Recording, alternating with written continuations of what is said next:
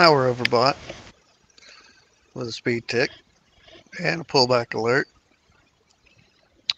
So since we're only up there at the high of the day,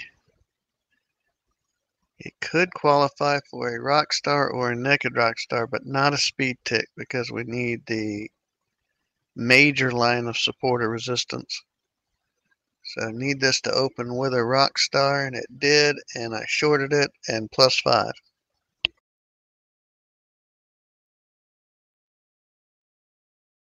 Just like that.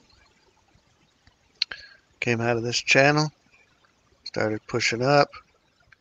Almost qualified for a speed tick trade here, but this needed to be overbought. Pushed up, high of the day, speed tick, pullback alert on the open of this bar. We had the rock star and it went straight down. This is our bread and butter right here all day long.